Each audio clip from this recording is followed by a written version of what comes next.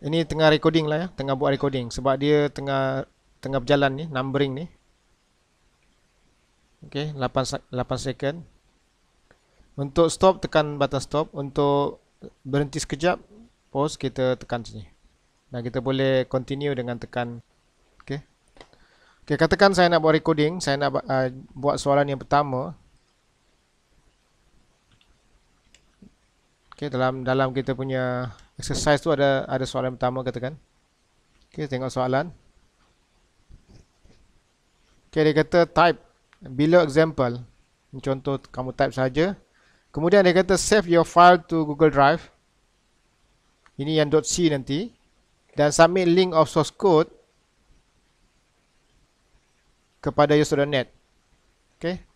Kemudian buat recording juga.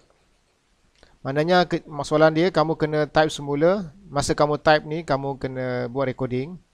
Kemudian uh, hantar video recording tu ke YouTube Satu. Yang kedua Kamu kena hantarkan .c kepada Google Drive. Okay, dua tempat kamu kena buat.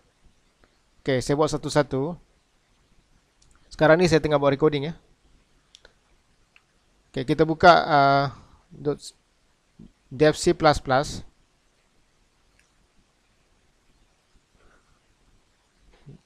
kita source file dan save as.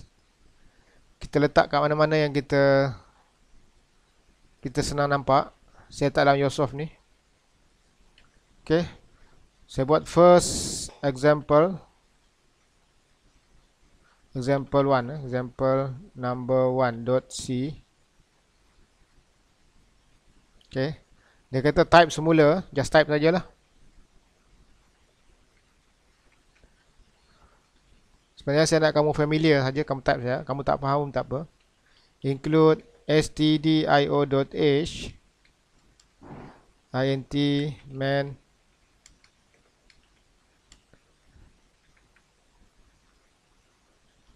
my name dan juga email eh. So printf my name is Yusuf Karasi printf my email is ykadasi at gmail.com new line. Uh, system. Post. Pause eh. return zero. Kemudian saya save Uh, tadi dah save ya. Okey, save as.c.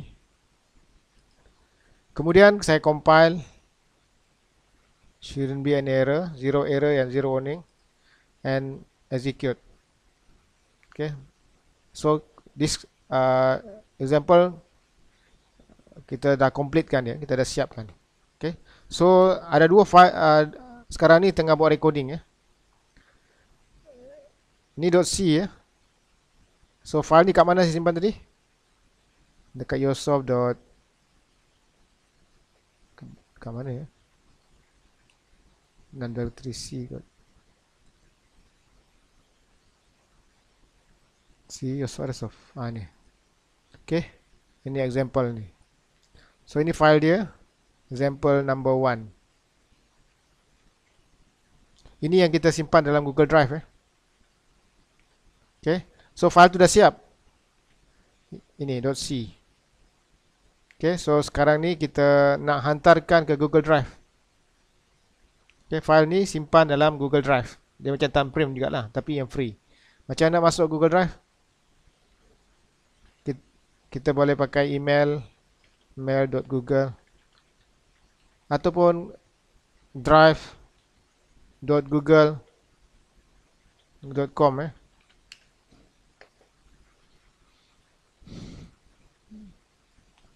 So yang kita punya login lah. Login kita apa? Macam saya YKDC. Okay, kamu pakai kamu punya lah.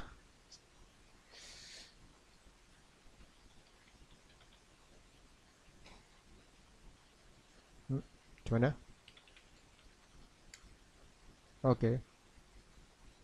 So this is my drive eh. Maknanya saya punya hard disk ataupun tempat dat simpan data. So saya banyak directory, saya boleh create directory mana yang saya suka, new directory, new folder, sementara. Okay, saya letak dalam sini.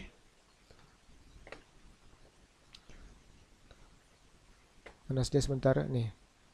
So masuk dalam, kita nak upload, ha, kita tekan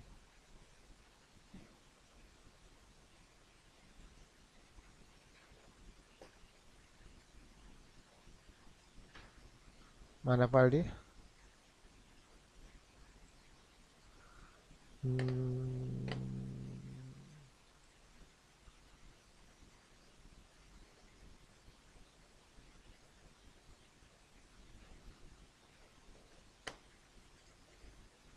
File ni saya tarik ke sini. Okey, saya dah upload. Okey, saya dah upload file ni ke dalam Google Drive.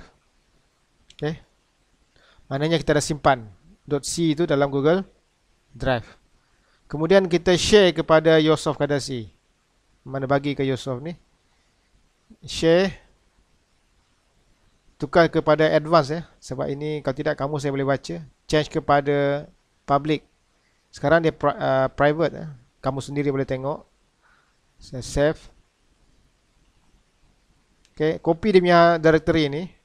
Sorry, yang yang dia punya link share ni. Kemudian pergi ke yoso.net tadi. Kat mana? Sini. Upload your source code num number sini. Ni directory dia. Okay, letak sini. Copy and paste dia punya link tu. Okay, tekan source.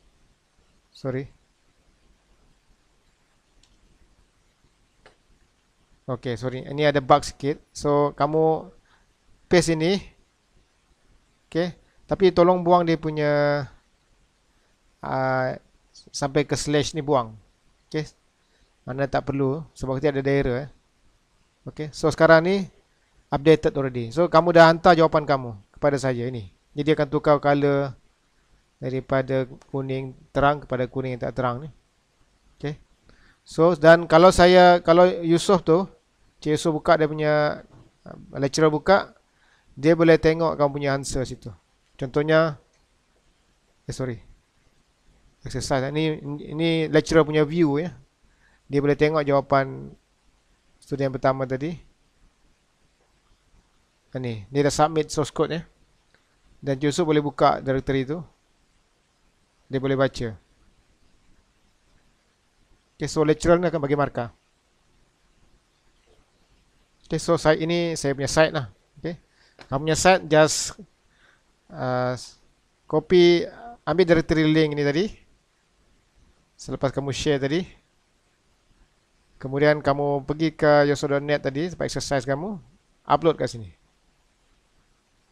Okay, tekan submit button. So, sebelum tu buang dia punya slash tu. Eh, apa, HTTPS tadi.